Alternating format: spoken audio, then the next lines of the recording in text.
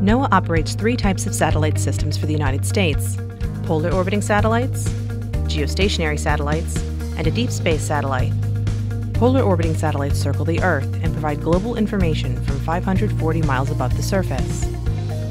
Geostationary satellites constantly monitor the Western Hemisphere from 22,240 miles above the Earth. And our deep space satellite orbits 1 million miles from Earth providing space weather alerts and forecasts, while also monitoring the amount of solar energy absorbed by Earth every day. While NOAA operates many satellites, no one country alone can afford to effectively monitor the entire Earth. NOAA partners with the international community to leverage data from satellites around the world, providing a more complete understanding of our ever changing planet.